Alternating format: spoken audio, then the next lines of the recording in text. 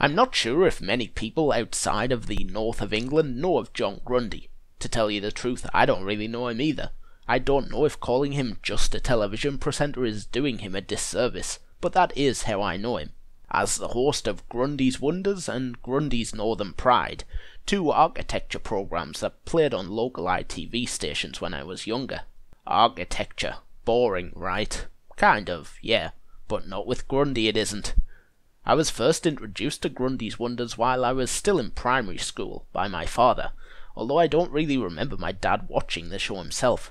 And honestly, back then my sister and I only watched each episode to see the Great Boot of History animation.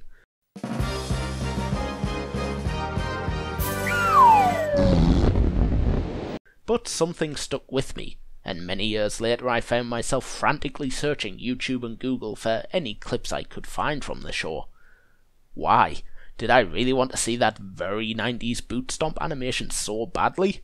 No, I just wanted to know why we would watch 30 minutes of a show we really had no interest in just to see a 5 second clip. It turns out there was a DVD release of the sixth series of Grundy's Wonders. I bought it as my curiosity was through the roof, and within two minutes of watching the first episode, I knew why I watched it as a kid, and why I would gladly keep watching it right then. Rock was the title of the episode. Just Rock. 22 minutes of information about rocks and stone. How could anything longer than a few seconds on that subject be interesting? But that's where the brilliance of Mr. Grundy shines through. This program's about rock. Not this sort.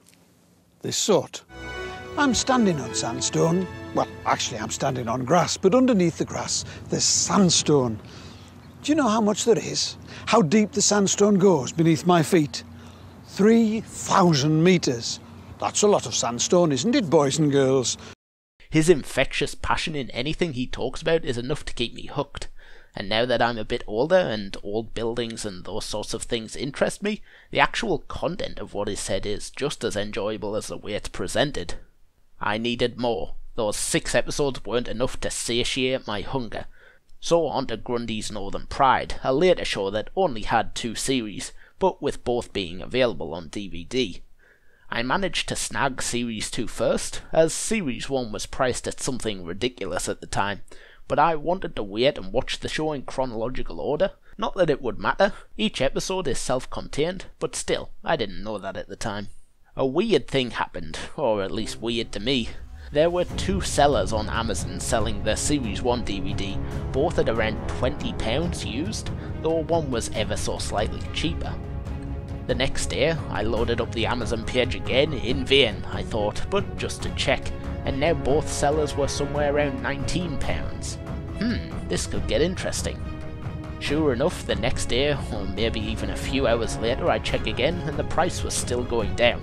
It was like one of those mad TV shopping channels where they keep lowering the prices.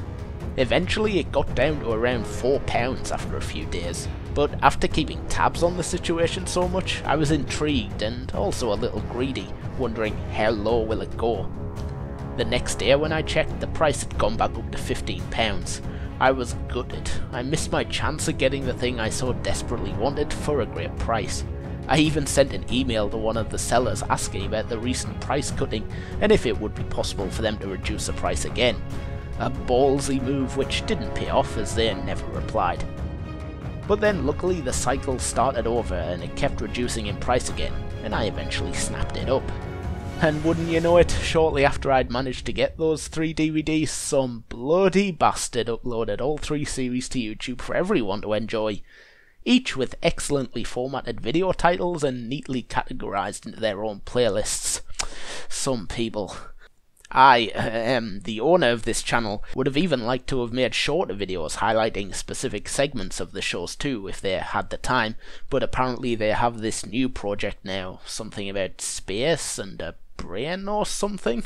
Anyway, I could complain about this other channel stealing my hard work by re-uploading everything with my titles, descriptions and tags, but when what I've done isn't the most copyright abiding thing, I'll keep my mouth shut.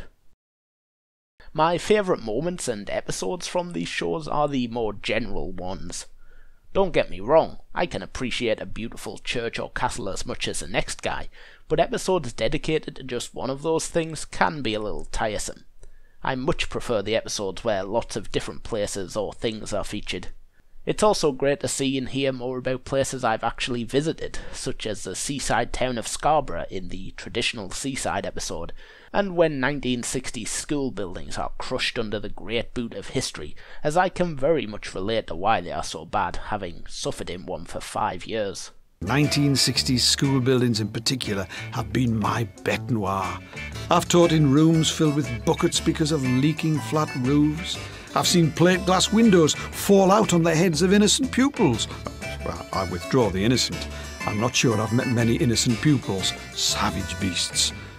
I often find myself noticing a lot of different things when I walk around places these days, from the fanciest of buildings to even things like how the area is laid out, how the prominent industry of the area dictates the architecture, what materials have been used, and so on. I'd never noticed so many posh chaps on plinths before, and now I'm interested to know who these people are and why they're up there. I'm always happy to find new clips and stuff from John Grundy too. In the process of making this video, I found out that there are a few segments he made for the BBC called Grundy's North, a couple of which are on YouTube, and another one I was able to watch on the BBC website, with two others failing to play. So that's a little about John Grundy and his television programs. I watched them as a kid, and I grew to appreciate them as an adult. Now, where can I watch the rest?